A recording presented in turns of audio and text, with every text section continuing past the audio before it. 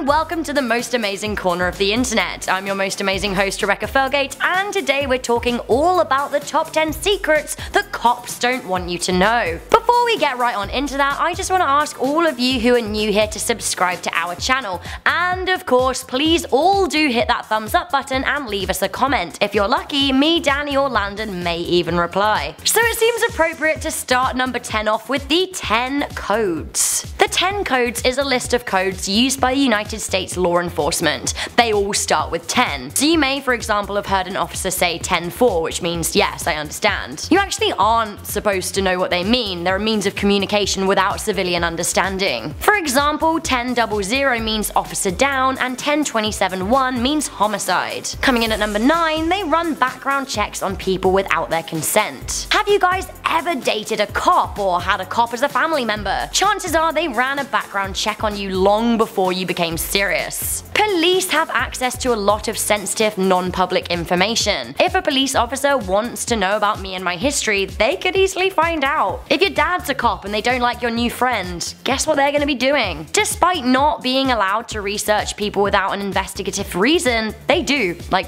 often. Coming in at number 8, there is a difference between a request and an order. Police officers sometimes deliberately confuse people and it makes their job easier if you don't know your rights. Often police officers do not want you to know that there is a key difference between a request and an order. A request you can decline, an order you must comply with. There a few circumstances where police officers can legally order you to do something, so it's worth clarifying whether or not an instruction is a request or an order. Coming in at number 7, they purposefully try to trick you with leading questions. For example, a police officer may ask if you've had anything to drink. You legally do not need to answer this. Obviously, you must always be polite and respectful, but you can say, respectfully officer, I do not have to answer that. They could also try saying things like, if you've got nothing to hide, you won't mind if I look around. Again, you don't have to consent this. Coming in at number 6, they actually do make terrible mistakes.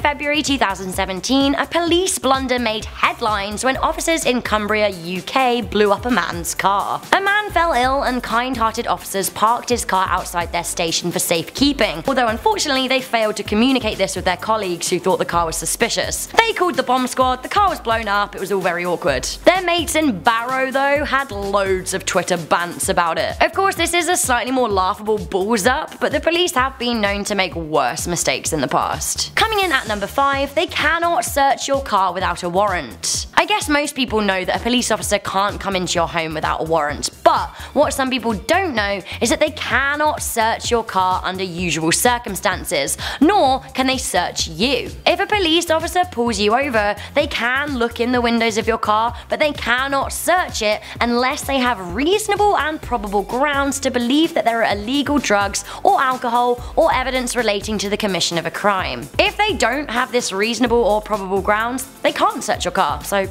Get out of here. Coming in at number 4, they cannot stop search you unless you're under arrest. A police officer cannot search you at random. The only way they can is if you are under arrest or you consent to be searched. Now, don't let them trick you into letting them search you. Three exceptions apply to this. If police find you in a place that they're searching for drugs and believe that you have some, or if they find you in a vehicle where people are drinking illegally, or if they believe you have an illegal weapon, then they can search you. If it's outside of any of those circumstances, you can just say no. Coming in at number 3, you can legally film police. Although of course many would prefer if you didn't, filming a police officer is not against the law. There have been some insane pieces of footage of officers losing it when bystanders have recorded them, but you should know that this is not a criminal offence. Building on that at number 2, they also cannot seize your phone, they absolutely can't. Also, if they take issue with something you've recorded, they can't delete it or ask you to delete it. Bear that in mind. Finally, coming in at number 1, many complaints against police officers are destroyed.